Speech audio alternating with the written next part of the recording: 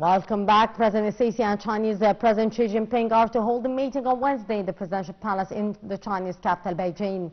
The meeting is to discuss boosting bilateral ties in various domains.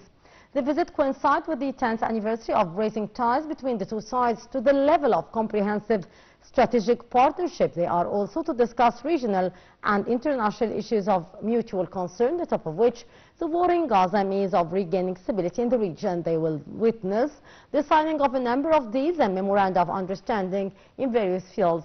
Sisi had arrived earlier on Tuesday in Beijing upon an invitation from the Chinese president. During the visit, the Sisi will hold a meeting with the heads of a number of joint Chinese companies over attracting more investment to Egypt. He will also attend the inaugural session of the 10th ministerial meeting of the Arab-Chinese Forum to be held on May 30th, bringing together the Chinese president and a number of Arab leaders. Foreign Minister Sameh Shoukry is in Beijing to prepare for the 10th ministerial meeting of the Arab-Chinese Forum to be held next Thursday. The forum is described as a platform for dialogue and cooperation between China and the Arab countries. The forum was launched in September 2004 in a communique in the Arab League in Cairo after a visit by the Chinese president back then. Egyptian-Chinese relations have been progressing in all fields over the past six decades. These relationships have proven their ability to cope up with the, the international, regional and internal developments. The relationship between Egypt and China has been excellent since the inception of bilateral relations several decades ago.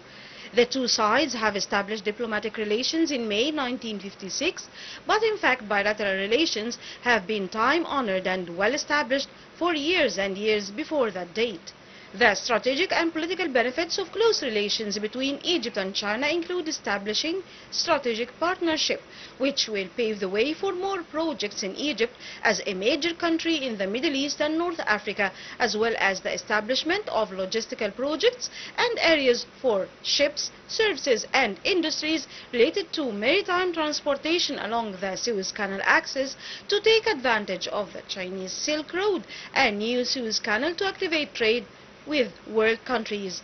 Egyptian-Chinese relations have been progressing in all fields over the past six decades. These relations have proven their ability to cope up with the international, regional and internal developments. The two countries also adopt compatible policies in terms of working for peace in all parts of the world calling for democratization of international relations and establishing fair and just political and economic world order that is based on mutual respect between countries.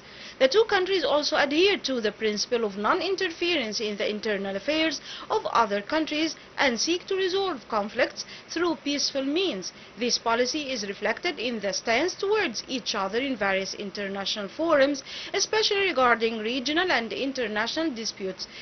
Egypt confirms its firm position that there is one state of China, which is the People's Republic of China, which China has adopted a stand in favor of the choice of the Egyptian people during the past five years and has repeatedly declared its rejection of any foreign interference in the Egyptian affairs.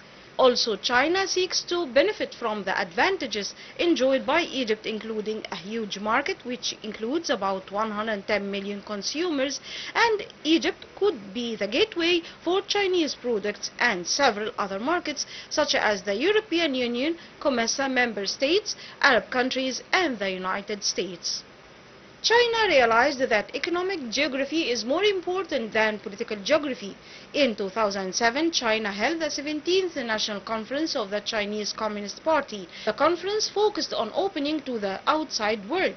In November 2012, the Chinese Communist Party approved in its conference the amendment of the party constitution and introduced the concept of scientific development to coordinate economic and social development in China.